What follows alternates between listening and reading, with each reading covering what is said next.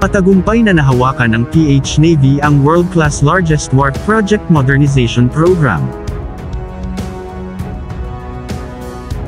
Bilang bahagi nito na nakaprograma sa modernisasyon ng sealift at amphibious na kakayahan ng Philippine Navy at palitan ang mga legacy na barko, ang serbisyo ay humiling ng suporta at pondo para makakuha ng dalawang dalawang karagdagang strategic sealift vessels SSV bilang bahagi ng Horizon dalawang phase priority projects ng ang revised AFP Modernization Program RAFPMP.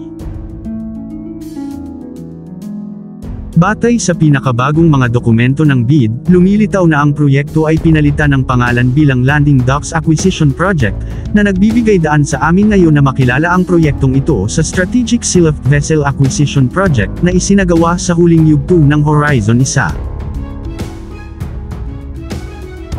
Ang mga karagdagang strategic sealift vessels ay kabilang sa mga itinaas ng hukbong dagat ng Pilipinas nang magsimula silang magplano para sa listahan ng pamimili. Sa ilalim ng Horizon 2 phase ng RAFPMP, ay inaasahang magiging katulad o mas mahusay sa mga nakuha kanina, na kilala ngayon bilang Tarlac Class Landing Platform Dock, at gagawa ng mga katulad na misyon kabilang ang amphibious assault, logistics at transport support, nagsisilbing command vessel o mothership para sa joint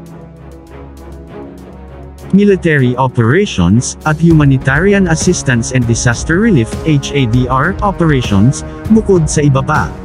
Sa original na Daisy Red Force Mix na inilabas ng Philippine Navy noong 2012, binanggit nito na ang fleet ay nangangailangan ng hindi bababa sa apat-apat na strategic sealift vessels para sa pagkuha sa pagitan ng 2013 hanggang 2028. Sa paglipas ng mga taon, ang hukbong dagat ng Pilipinas ay gumawa ng ilang pagbabago sa mga planong pagkuha nito, bagamat sumulong ito upang makakuha ng dalawang, dalawa, unit bilang bahagi ng Horizon isang phase ng RAFPMP. Sa huling pagsusumite nito ng Philippine Navy noong huling bahagi ng 2017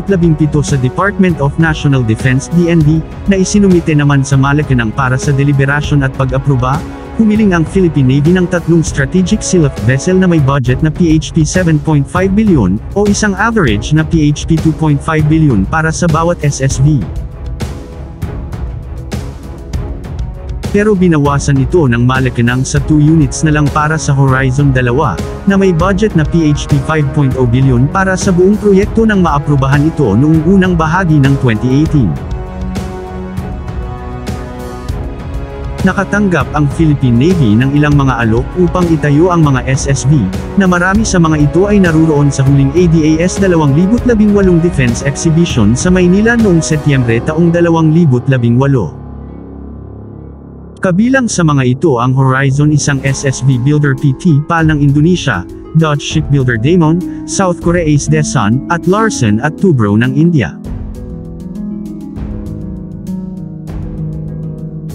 Nagpakita rin ng interes ang iba pang mga shipbuilder sa proyekto sa pagkuha ng SSV kabilang ang Goa Shipyards at Garden Reach Shipbuilders and Engineers ng India, at pagkatapos ay isa pa mula sa India Mazagon Dock Private Limited.